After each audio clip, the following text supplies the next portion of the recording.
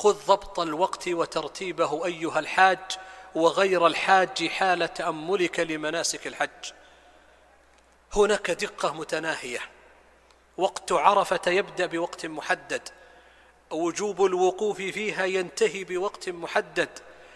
أذن المؤذن أي طلع الفجر في يوم النحر. من لم يقف بعرفة لم يقف. عرج على مسألة الصلاة. دخل وقت الصلاة وجبت الصلاة قبل دخولها بثانية لم تجب لم يصح فعلها.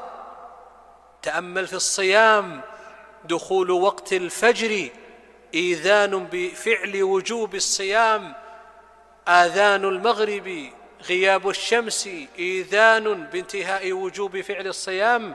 ألا يدل هذا يا أمة محمد صلى الله عليه وسلم على أن الأمة يدعوها ربها إلى أن تضبط الأوقات وأن ترتب حياتها على الأوقات كلها عبودية لله عز وجل لأن الجميع كله سيعرض على الله في كتاب لا يغادر صغيرة ولا كبيرة إلا أحصاها ووجدوا ما عملوا حاضرا ولا يظلم ربك أحدا.